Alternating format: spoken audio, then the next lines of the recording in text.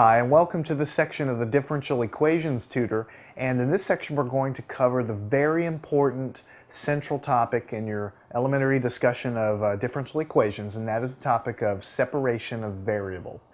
It's got a complicated uh, sounding name, but I promise you that this material really is no more difficult than what we already learned in the last material. In fact, it's very, very similar.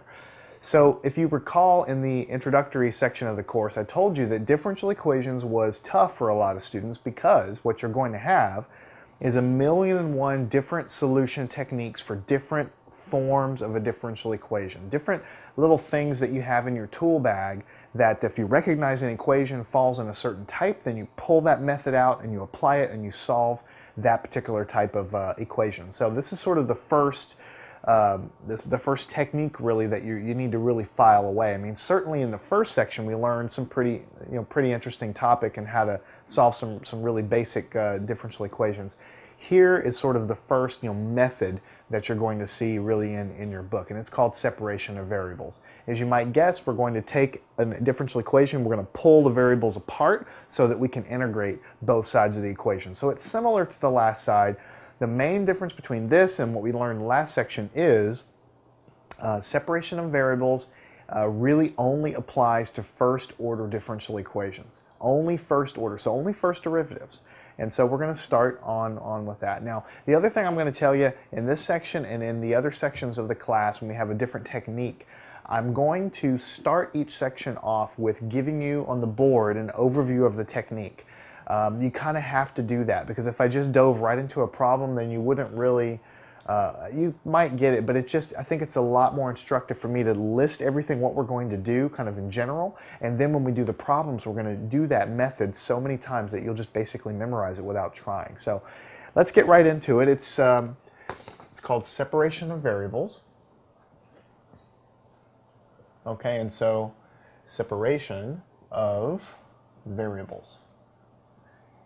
And you're going to see in a second that the reason it's called separation of variables is because literally we take the differential equation, we split the variables apart. But it turns out you can only do that in certain, uh, in certain cases when the differential equation is of a certain form. Okay, so here we go. If you have, if you have a first order and I'm going to underline it because it only applies to first order equations.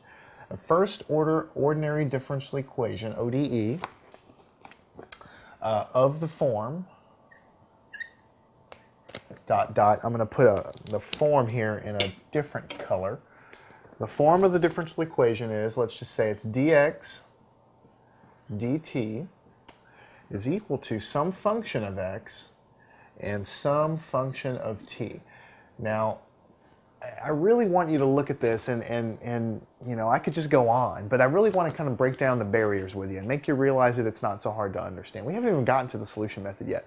But a lot of times in your book, you're going to see this kind of thing where you have an equation written like this, and a lot of students look at it, they don't really see a typical equation, polynomial, or anything, so their brain shuts down a little bit. f of uh, x, g of t, what, what does all that mean?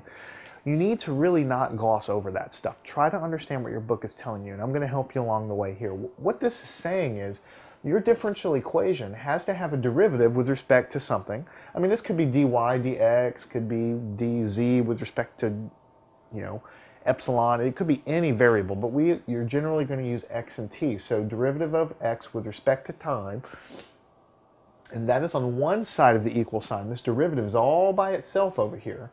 And on the other side of the equal sign, you have a function of x, that's what f of x means, and a function of t. So this f of x could be, you know, we could have dx, dt, it could equal to x squared times time. This is a function of x, this is a function of t. Our differential equation could be you know, dx dt is equal to um, uh, t to the 1 half times the square root of x. So you see here we have a function of t and here we have a function of x. Now these are multiplied together so it doesn't matter if, if you have a function of t or a function of x you know flipped around but you definitely have to have a function of x multiplied by a function of t.